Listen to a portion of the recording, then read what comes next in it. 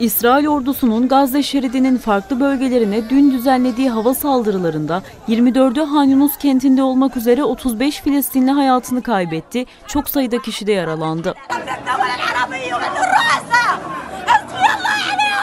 İsrail ordusu Gazze'nin kuzeyi, orta kesimi ve güneyine çok sayıda hava saldırısı düzenledi. Kentin güneydoğusundaki Ez Zeytun mahallesinde bulunan Bedr Camii yakınlarına düzenlenen saldırıda 6, Ebu Hasira Caddesi'nde bir eve düzenlenen saldırıda ise 2 Filistinli öldü. Gazze şeridinin orta kesimindeki Bureyç mülteci kampına düzenlenen saldırıda 2 kişi hayatını kaybetti, 4'ü çocuk 7 Filistinli yaralandı.